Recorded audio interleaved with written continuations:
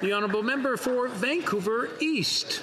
Mr. Speaker, the Liberal tax changes give the most benefit to those who need it the least. Yeah. Our plan caps the tax changes and saves enough to pay for dental care for Canadians making 90000 or less a year. The Liberals delay the vote on their scheme. So, does that mean that they'll work with us to deliver dental care to millions of Canadians who need it?